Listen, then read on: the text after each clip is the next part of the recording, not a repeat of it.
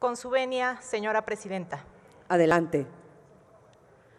Hoy los del partido en el régimen nos dicen que a los jóvenes no les van a cobrar impuestos, pero no nos dicen que Hacienda tendrá facultades para requerirlos, para investigarlos y para sancionarlos en caso de que consideren como anomalías lo que mejor les convenga.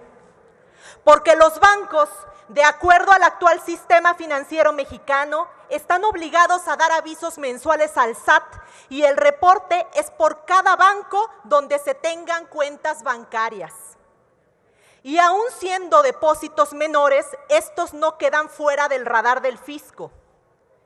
De ahí es de donde surge el concepto de terrorismo fiscal, señoras y señores porque este gobierno no tiene ningún reparo en utilizar a las instituciones gubernamentales para amenazar y amedrentar a todos aquellos que le incomoden, que piensen y que no le sirvan a sus intereses.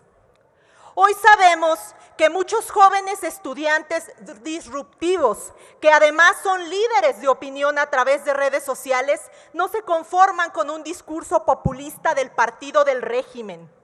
Por ello, y por todas las libertades que están en riesgo es que proponemos eliminar esta aberrante reforma. Por otro lado, las organizaciones de la sociedad civil. Las organizaciones de la sociedad civil llegan a donde el gobierno no llega y cumplen con muchas de las tareas que el gobierno no puede o no ha querido hacer. Las organizaciones de la sociedad civil, así como las empresas, no son sus enemigas, no son su competencia, porque unas aportan voluntad, trabajo y disposición a favor de nuestra gente y las otras generan los empleos formales que sostienen la economía de este país. Y es realmente su dinero el que ustedes están regalando a cambio de votos.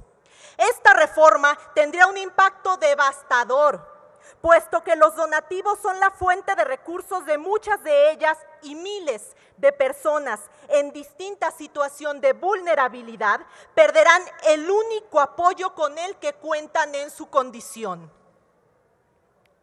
Algunas de las actividades que se verían más afectadas son las relacionadas con la atención a necesidades básicas de subsistencia, servicios médicos y de rehabilitación, asistencia jurídica, orientación en temas de trabajo infantil, violencia contra las mujeres, servicios de desarrollo a pueblos y comunidades indígenas y atención a personas con discapacidad.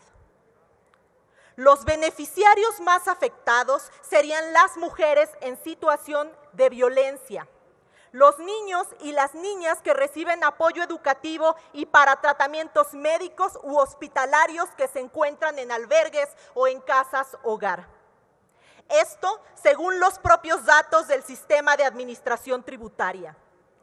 Las organizaciones sin fines de lucro atienden a los deciles de ingresos más bajos de la población del país. No como Morena, que deja los recursos en manos de sus empleados que no sirven a la nación, sino que se sirven de ella, o peor aún, de los hijos e hijas de sus servidores y servidoras públicas.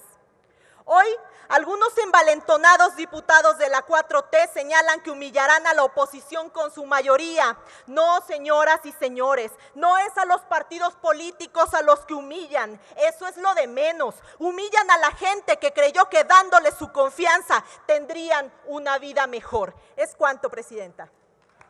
Muchas gracias, diputada Felipe Torres.